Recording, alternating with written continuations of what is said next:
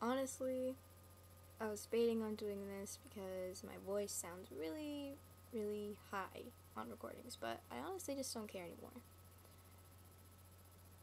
I've had probably one of the worst days this year, almost. And right now, um, you know, I'm recovering from depression even. And I kind of feel like cutting or burning again. Yeah, again. But I'm not I'm not going to. Cuz I know that I'm worth a lot more than the stupid people who made me feel like this today. And for those of you out there who are suicidal or depressed or you self-harm or bring just any harm to your body whatsoever, you're worth a lot more than anybody who makes you feel like that too. And this is just for anybody who's feeling down, even if you're not depressed, even if you're just sad, that you're worth more than anybody who tells you that you don't deserve to be happy, that you're not good enough. Because I really do think that everyone is beautiful, everyone is perfect in their own way, no matter what anybody says. And, you know, sometimes I think I'm not perfect.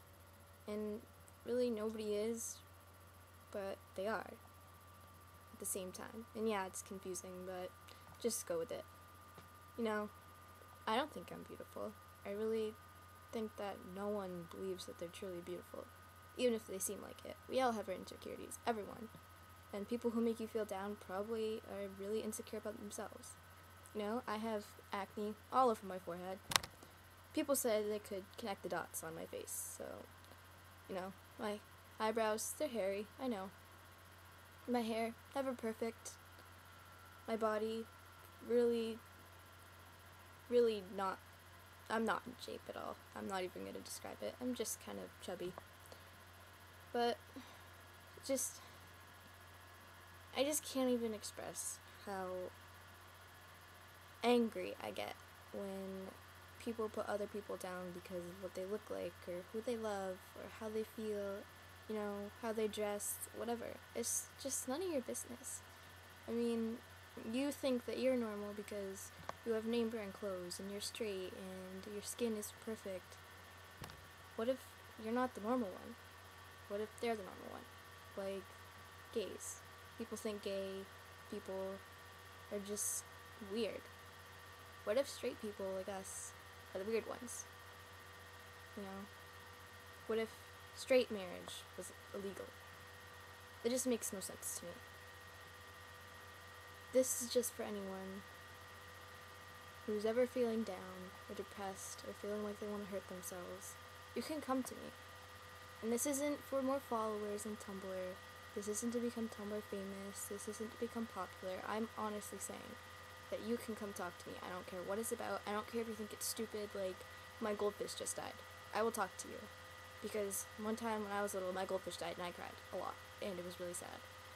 And he was pretty ugly too, because it looked like his brain was popping out of his head. But I still cried. And I had to watch him be flushed down the toilet. It's a very sad moment for me. It really was. Just anything, you can talk to me. And I was always listen. I will give the best advice that I can. Because I've been there. I am depressed, like I said. I've burned, I've cut, I've been suicidal, I've already planned out what I wanted to do, I wrote a note. I've, and this has been happening for years. I've been through a lot of things physical, sexual, verbal abuse, you know, make, being made fun of at school, totally unstable home and family. But you can always come to me. You're never ever alone because chances are thousands of people in the world have gone through what you've gone through. And it will be okay, I promise. I know no one wants to hear that, you know, oh, it'll get better, it'll get better. Because sometimes we don't think it will. But it really, really will. You just have to try.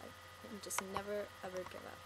You can always talk to me. I will always be here, and I will never, ever leave you alone. Ever.